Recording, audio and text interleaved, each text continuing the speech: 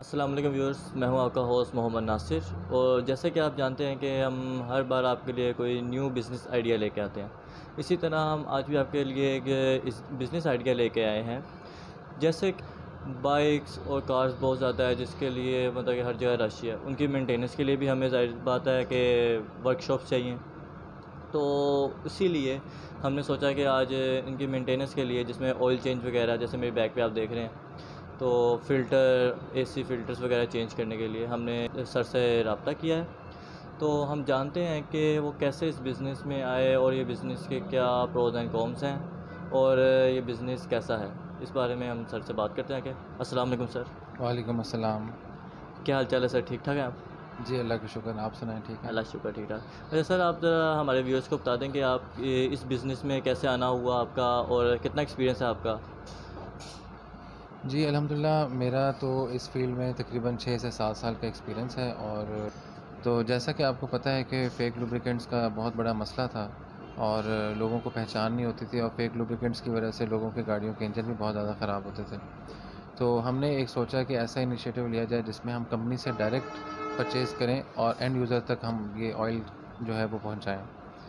इस वजह से फिर हमने यहाँ पे एक फ़िरोज़पुर रोड पे तमसील थिएटर के सामने मजंग में एक अपना हमने पॉइंट बनाया, ऑयल चेंज पॉइंट है, जहाँ पे हम मर्सिडीज़ से लेके सुजुकी, बुलान तक, महरान तक तमाम गाड़ियों का बेहतरीन किस्म का ऑयल चेंज, उनकी बेहतरीन ओरिजिनल फ़िल्टर्स, मलेशियन इम्पोर्टेड भी, और लोकल तमाम किस्म की वैरायटी हमारे पास मौजूद है, और हमारे पास अल्लाह का शुक्र है बड़ी बड़ी दूर से कस्टमर्स आते हैं और बड़े सेटिस्फाइड हैं। माशाल्लाह बिल्कुल मैंने भी अभी देखा है आपके पास हमने बल्कि कोई दो कार्स की वीडियोस भी बनाई हैं जिसमें इन्होंने ऑयल चेंज फ़िल्टर चेंज किए हैं तो वो भी आपको व्यूज़ दिखाएँगे हम वीडियो के एंड पे और ज़रूर देखना आप भी इनसे सेटिस्फाई होंगे। तो अच्छा सर ये क्या नाम है इस बिज़नेस के लिए कितना एक्सपीरियंस रिक्वायर्ड है और कितना कैपिटल रिक्वायर्ड है? देखें जी आ, मैं मेरे पास तो छः महीने का एक्सपीरियंस था स्टार्ट में जब मैंने इसको स्टार्ट किया था और छः महीने मैंने तमाम गाड़ियों का तो नहीं, लेकिन मैक्सिमम गाड़ियों को कवर किया जिसमें ये पता चला कि किस गाड़ी में कितना ऑयल डलता है और कौन सा ग्रेड डलता है, जो बहुत ज़रूरी है। ग्रेडिंग जो है वो सबसे इंपॉर्टेंट है लुब्रिकेंट्स में। किस गाड़ी में, नई गाड़ी में फाइव डब्ल्यू थर्टी ग्रेड डलता है, थोड़ी सी ज़्यादा चल रही हो, उसमें टेन डब्ल्यू फोर्टी और अगर गाड़ी पुरानी हो ऑयल कम कर रही हो या फिर उसका इंजन थोड़ा सा वीक हो तो उसमें फिर हम ट्वेंटी डब्ल्यू फिफ्टी का ग्रेड ऑयल यूज़ करते हैं। ज़बरदस्त हो गया। अच्छा तो थोड़ा हमारे व्यू को थोड़ा गाइड कर दें, आपके टोटा पिक्सिस गाड़ी थी। तो आप ज़रा बता दें कौन सा फ़िल्टर आपने डाला इसमें और क्या क्या चीज़ें आपने इसमें तब्दील की हैं और क्या क्या उसके प्राइसेस हैं? ज़रा गाइड कर देखिए जी हमारे पास टोयोटा पिक्सेस गाड़ी है ten W forty grade oil डाला ये आप देख सकते हैं। टेन डब्ल्यू फोर्टी है, जो जिसका इंजन बिल्कुल ठीक है, उसमें हमने ये ऑयल डाला है, तीन लीटर ऑयल डलता है टोयोटा पिक्सेस में। टेन डब्ल्यू फोर्टी जो है, ये माइल्ड ऑयल है दरमियाना, ना ज़्यादा मोटा है, ना ज़्यादा पतला। और ये इन इन गाड़ियों में यूज़ होता है जिन, जो ऑयल कम ना कर रही हो, थोड़ी ज़्यादा चली हों। इससे थोड़ी सी ज़्यादा कम चली होती गाड़ी तो उसमें हम फाइव डब्ल्यू ट्वेंटी का ऑयल डालते हैं जिक का, ठीक है? और इसे, ये हमने फ़िल्टर डाला इसमें। ये आप देख सकते हैं। टोयोटा का फ़िल्टर इसमें डाला है, ठीक है? ये ऑयल फ़िल्टर होता है जो बेसिकली ऑयल को फ़िल्टर करता है। जितना अच्छा फ़िल्टर डालेंगे, उतना ऑयल आपका जो है अच्छा चलेगा और उसकी माइलेज भी ज़्यादा होगी। ये आप देख सकते हैं। ऑटोमैक्स का ये फ़िल्टर है। इसका जो पेपर है वो बहुत अच्छा है। इम्पोर्टेड पेपर यूज़ करते हैं और ये गाड़ियों के जो इंजन है इंजन की इंजन की जो वेंटिलेशन इंजन को जो हवा क्रॉस करता है वो फ़िल्टर करता है उसको। बिल्कुल। एसी फ़िल्टर भी डाला। है ये आप देख सकते हैं। ये मैक्स का है। और ये जो केबन अंदर गाड़ी के अंदर इंटीरियर में जो हवा आती है उसको फ़िल्टर करने के लिए एसी फ़िल्टर यूज़ करते हैं। ठीक है?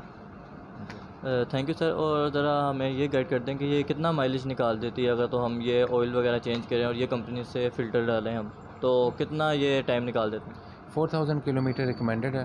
फोर थाउज़ेंड किलोमीटर के बाद आपको इसको दोबारा चेंज करना होगा। ये सारी चीज़ें? नहीं एसी फ़िल्टर चूँकि गाड़ी का बहुत ज़्यादा गंदा था तो इस वजह से हमने वो एसी फ़िल्टर जो है उसका वो हमने चेंज किया। बाकी जो आपका एयर फ़िल्टर और ऑयल फ़िल्टर है वो ही हर दफ़ा चेंज होता है। ठीक हो गया। तो एसी फ़िल्टर को कितना टाइम निकाल जाता है? ये डिपेंड करता है आपकी ड्राइविंग कंडीशंस पे। आप किस जगह पे ज़्यादा डस्टी एरिया में जाते हैं तो वहाँ पे जल्दी गंदा हो जाता है। क्योंकि बाहर से जो हवा आती है ना उसको भी फ़िल्टर करता है। जी ठीक हो गया। थैंक यू सर मेरा गाइड कर दें कि कितने कैपिटल रिक्वायर्ड है अगर हम ये शॉप स्टार्ट करना चाहते हैं और क्या क्या चीज़ें हम शुरू में रखें। मतलब कि ज़्यादा क्वांटिटी तो हम रख नहीं सकते शुरू में अगर हमारे पास इन्वेस्टमेंट इतनी ना हो। यंगस्टर के लिए बात अच्छी है ये। तो अब ये ज़रा सोच करते हैं हमारे लिए कि हम कितने मतलब के क्वांटिटी रखें कि हम अपना बिज़नेस स्टार्ट कर सकें और अच्छा मतलब अर्न कर सकें। देखिए जी बेसिकली ये है कि इसमें आपको तीन चार ब्रांड्स कवर करने होते हैं तो आप तीन चार ब्रांड्स को लेके अगर चलें स्टार्ट में तो आपका तकरीबन 10 से 12 लाख रुपए का जो है वो इन्वेस्टमेंट कैपिटल आपके पास होना चाहिए और फिर ही आप इसको स्टार्ट कर सकते हैं। और कम से कम छः महीने से साल का एक्सपीरियंस रिक्वायर्ड है आपको ये काम करने के लिए। ठीक हो गया। तो आजकल कौन कौन से ज़्यादातर ये ब्रांड्स चल रहे हैं? इसमें ज़रा थोड़ा गाइड कर दें। ज़्यादा जिक चल रहा है किक्स का चल रहा है और इसके अलावा मुख्तलिफ़ हैं शेल है टोटल है पी एस ओ है और मोबिल है डिफरेंट किस्म के चल रहे हैं। तो हमारे पास तो अटलांटिक लुब्रिकेंट्स की डीलरशिप है और जिक की भी डीलरशिप है। हम डायरेक्ट कंपनी से परचेज़ करते हैं। बाकी भी हमने रखे हैं। ठीक हो गया सर। तो अब लास्ट में आप हमारे व्यूअर्स को कोई एडवाइस कर दें, जो यंगस्टर आपको देख रहे हैं, जो बिज़नेस में आना चाहते हैं? मेरी तो देखिए यही एडवाइस है कि आजकल जो यूथ है, वो सारी बिज़नेस की तरफ़ जा रही है। और एक जो स्टार्टअप्स लोग कर रहे हैं, मुझे बड़ा खुशी होती है लोगों को देख के कि जो नए नए स्टार्टअप्स में लोग हिस्सा ले रहे हैं नए नए स्टार्टअप्स आ रहे हैं। तो मैं तो ये कहूँगा कि जिस इसी तरह स्टार्टअप्स में हिस्सा लेते हैं और जॉब्स की तरफ़ इतना ध्यान ना दें। ज़्यादा जो है अपनी तवज्जो है वो बिज़नेस की तरफ़ जाएँ बिज़नेस में आए इसमें ग्रोथ ज़्यादा है। अब जॉब में ग्रोथ इतनी नहीं है जितनी बिज़नेस में ग्रोथ है। Thank you so much sir या वेलकम